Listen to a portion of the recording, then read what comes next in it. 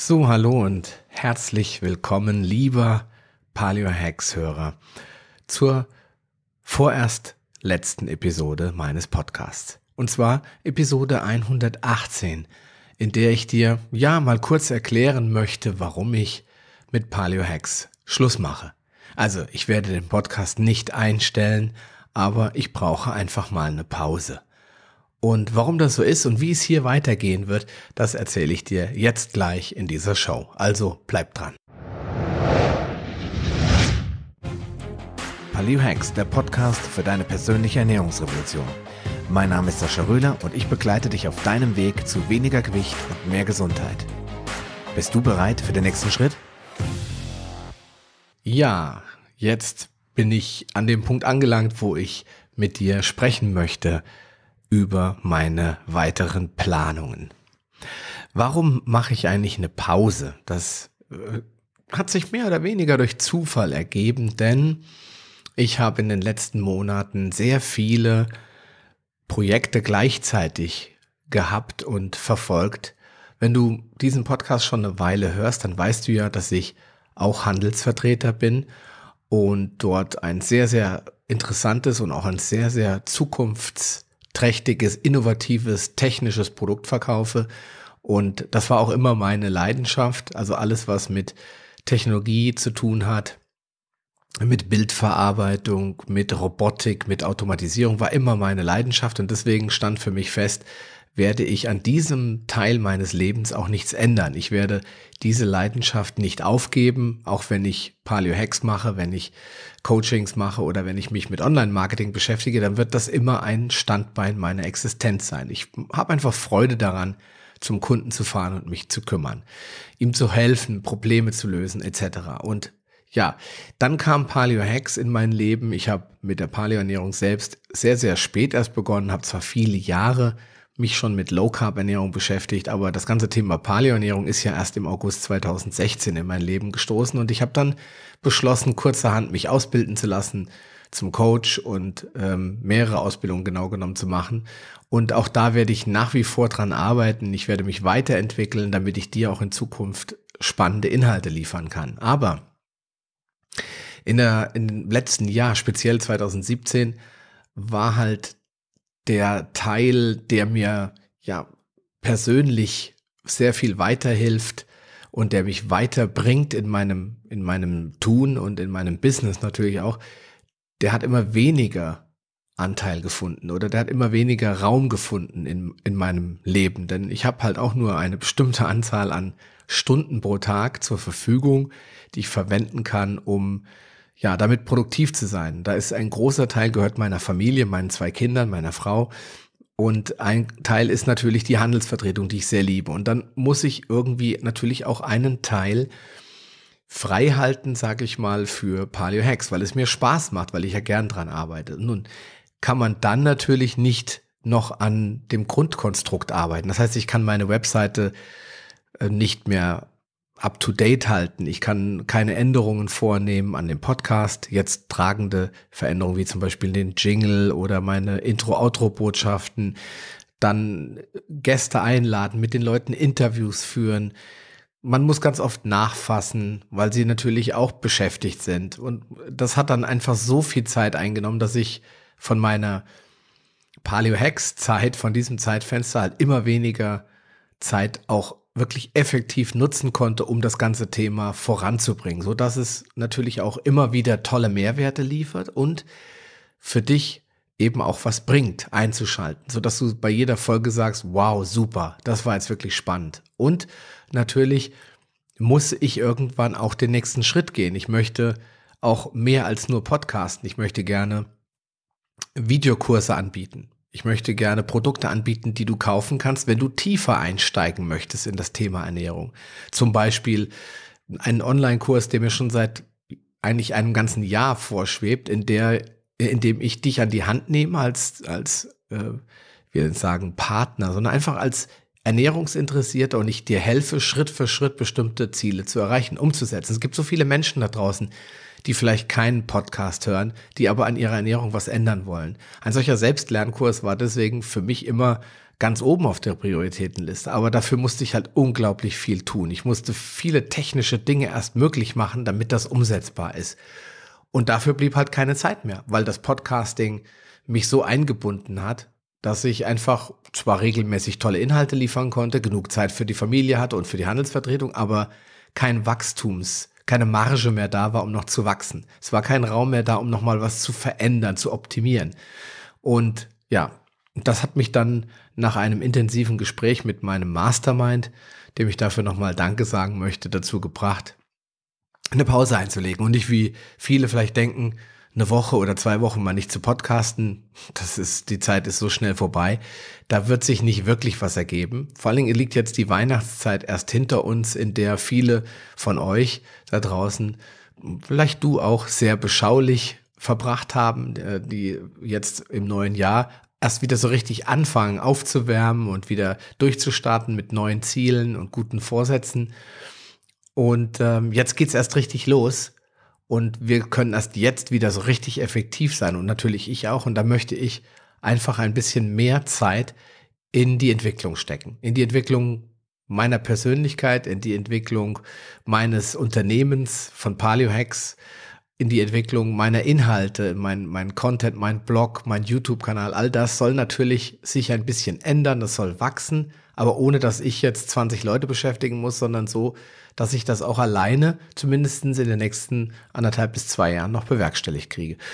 Und ja, deswegen diese Pause. Was mache ich denn in dieser Zeit und auf was darfst du dich freuen, wenn du dann in drei Monaten den Podcast wieder sehen wirst. Dann habe ich mir fest vorgenommen, würde es eine kleine Session geben. Ich werde also zwischen fünf und zehn Mini-Folgen produzieren. Also sie werden nicht Mini sein, wenn du mich kennst, dann weißt du ja, dass ich relativ schnell 30, 40 Minuten reden kann. Nein, ich meine damit, es wird eine kleine Serie in sich sein, eine kleine Miniserie, mit der ich den Podcast relaunchen werde, also ihn neu starten werde, wieder booten werde. Er wird dann quasi im April, genaues Termin, äh, genauen Termin kenne ich noch nicht, wird er durchstarten mit einer kleinen Miniserie, das heißt zehn Tage maximal. Ich weiß noch nicht genau, deswegen musst du dich da überraschen lassen. Maximal zehn Tage plane ich aber in Folge jeden Tag einen Podcast in einer, innerhalb einer kleinen Miniserie. Und diese zehn Folgen maximal werde ich als Start nutzen. Du wirst dann in dieser Zeit von mir zwar nichts hören, Du wirst von mir im Blog ab und zu mal was lesen, also in meinem äh, auf meiner Facebook-Fanpage werde ich veröffentlichen, hin und wieder mal was verlinken etc. Das Gewinnspiel läuft natürlich weiterhin und wird äh, im Februar, das habe ich ja auch verschoben, in einer Facebook Live-Session habe ich das bekannt gegeben. Da wird dann die Endauslosung stattfinden. Und das, es wird halt immer wieder mal so ein paar Signale von, von meiner Seite geben, aber es werden keine neuen Inhalte folgen. Und ja, mit dieser Miniserie werde ich durchstarten. Ich werde in der Zeit natürlich nicht rumsitzen und die Beine hochlegen und meditieren, sondern ich werde in der Zeit sehr, sehr viele Interviewpartner ansammeln, mit denen Interviews führen. Die werden dann halt gesammelt, produziert und werden dann als Paket online gestellt. Und du wirst dann eben wieder, wie gehabt, jede Woche nach dieser Miniserie deine Interview, beziehungsweise auch vielleicht hin und wieder mal eine Solo-Folge von mir finden. Ja, was wird es noch geben? Oh, damit die drei Monate eben nicht ineffektiv verstreichen, werde ich an meinem Online-Kurs arbeiten. Ich bin mir noch nicht ganz sicher, es sind zwei Projekte in der Planung. Also ich werde mein E-Book, mein kostenloses E-Book, werde ich abschaffen. Das heißt, es wird, das hatte ich schon mal angekündigt. Es war, ist auch kein Marketing-Gag, sondern es ist wirklich geplant gewesen, aber ich habe es einfach nicht geschafft. Das heißt, du kannst es noch kriegen, aber es wird dann im, im April, wenn der Podcast relauncht und mein Blog relauncht, wird dieses Buch verschwinden. Dafür werde ich einen kostenlosen Mitgliederbereich anbieten, in dem du ähm, ganz spannende und sehr interessante Videoinhalte finden wirst. Das Ganze wirst du finden unter palio-akademie.de. Diese Domain ist jetzt im Moment allerdings im, wie man so sagt, äh, Baustellenmodus. Du wirst halt dort jetzt nichts finden, außer einen Text von mir, der dich darauf hinweist, dass das im April 2018 losgeht. Oder im Frühjahr habe ich, glaube ich, da geschrieben. Und auf dieser Seite palio-akademie.de kannst du dich kostenlos anmelden und hast dann Zugriff auf einen kleinen kostenlosen Videokurs. Wie der im Einzelnen aussehen wird, verrate ich dir nicht. Das musst du dann schon ähm, ja rausfinden, indem du dich anmeldest. Und dort werde ich dich dann in Zukunft äh, auch versorgen mit vielen netten kostenlosen Informationen. Also es gibt da eine Gutscheinliste und immer mal wieder werde ich was hinzufügen, aber ich bitte um Verständnis, wenn das nicht alles Peng einfach da ist, sondern dafür brauche ich natürlich auch ein bisschen Zeit. Und dort werde ich auch meinen ersten eigenen Paleo-Kurs veröffentlichen, also ein klassischer Ernährungs-Selbstlernkurs. Und das wird ich drücke mir selbst fest die Daumen, auch im Frühjahr 2018 passieren, sodass du gleich dort ein ja, neues Angebot von mir vorfinden wirst. Ja, dann wird der Blog, das habe ich ja gerade eben schon mal angedeutet, relaunched. Das heißt, ich möchte gern meinen Blog in Zukunft umgestalten. Er wird etwas pragmatischer gestaltet. Im Moment ist er sehr leidenschaftlich mit vielen technischen Geek-Sachen, so wie ich halt bin, ähm, versehen. Und manche Leute finden das unübersichtlich. Und manche Leute hauen auch gleich wieder ab, weil sie denken, wo bin ich jetzt hier? Das werde ich alles ein bisschen intuitiver gestalten und ich werde auch äh, Blogartikel wieder veröffentlichen, um so ein bisschen den Lesern entgegenzukommen, die überhaupt nichts mit Podcasts anfangen können.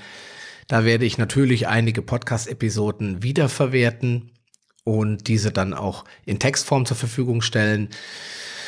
Ja, es wird sehr wahrscheinlich einen neuen Paleo Hacks Jingle geben. Es wird ein neues Paleo Hacks Cover geben für diesen Podcast. Und äh, vielleicht sollte ich deswegen auch am 1. Mai starten, denn der Mai, der macht hier alles neu, wie es in einem bekannten Kinderlied lautet. Aber wie schon gesagt, ich bin mir da noch nicht ganz sicher, wann ich starten werde. Aber ich denke, es wird im Frühjahr sein.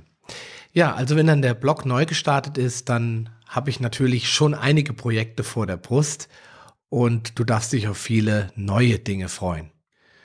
Ja, und ähm, das wird mich halt einiges an, an Arbeit und an Zeit kosten. Und in dieser Zeit möchte ich nicht diesen Podcast vernachlässigen und äh, möchte auch nicht unregelmäßig werden. Ich sehe das immer ganz oft bei anderen Podcastern, die dann erst eine Folge ausfallen lassen. Und dann lassen sie eine zweite Folge ausfallen. Dann lassen sie eine dritte Folge ausfallen, dann kommen sie mal wieder, dann stellen sie auf zweiwöchig um, dann stellen sie auf vierwöchig um und irgendwann ist der Podcast weg.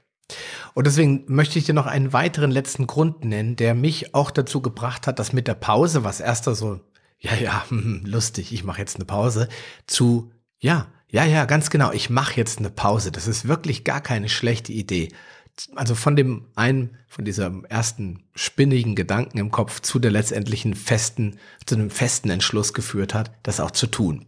Und das war, dass ich immer Angst davor hatte, dass mir keinen Spaß mehr macht. Und ich war an dem Punkt, dass ich gesagt habe, es ist so zur Routine geworden, der ganze Podcast.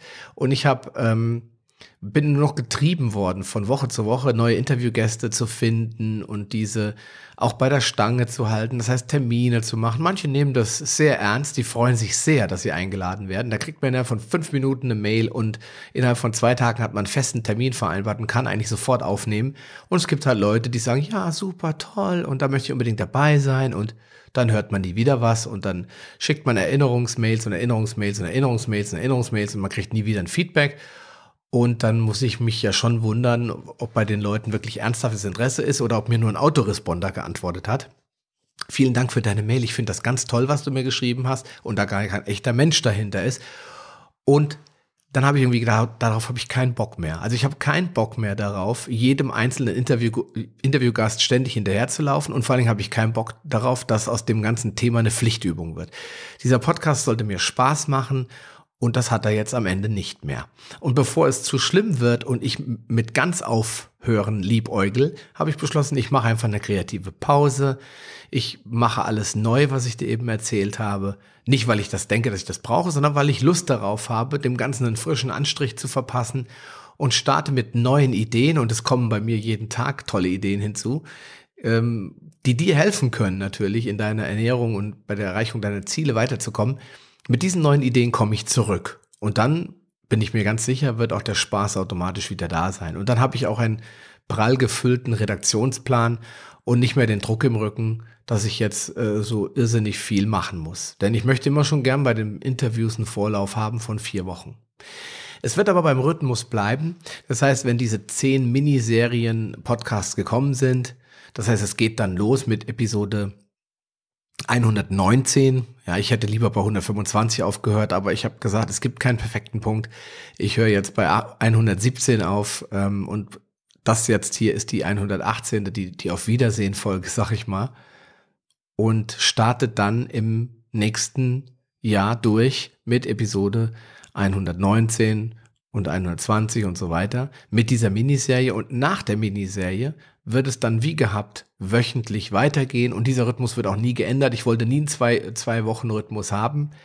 Ich kann das zwar nicht versprechen, dass mir vielleicht in drei, vier, fünf, sechs, sieben Jahren die Themen ausgehen und der Podcast vielleicht sogar ganz eingestellt wird, weil ich einfach sage, zum Thema Paleoernährung ist einfach alles gesagt worden.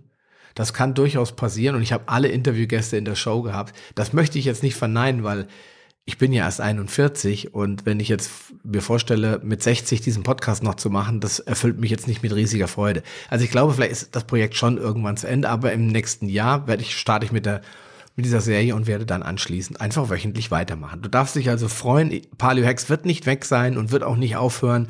Das verspreche ich dir, da gebe ich dir mein Wort drauf. Nur kann und will ich jetzt auch nicht sagen, wann genau die, der, die nächste Episode dann kommt. Ich gehe davon aus, es wird im April sein, weil das wären ungefähr drei Monate. Aber wenn mein Online-Kurs halt eben erst Anfang Mai fertig ist, dann werde ich jetzt nicht einfach wieder durchstarten und äh, alle meine Planung über, über den Haufen werfen, sondern ich möchte schon mit dem neuen Blog, mit dem neuen Relaunch, äh, mit dem neuen Cover, mit dem neuen Jingle, mit all diesen neuen Dingen möchte ich schon gerne starten und, und nicht das verwerfen und dann wieder so halbgar durchstarten, nur weil ich gesagt habe in diesem Podcast, es wird am 10. April der Fall sein.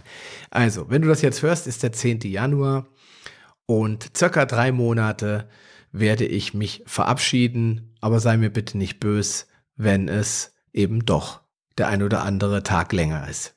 Ansonsten wünsche ich dir alles Gute. Ich wünsche dir viel Spaß. Ich wünsche dir viel Freude ich wünsche dir ja ein super Jahr 2018, ein super Frühjahr 2018.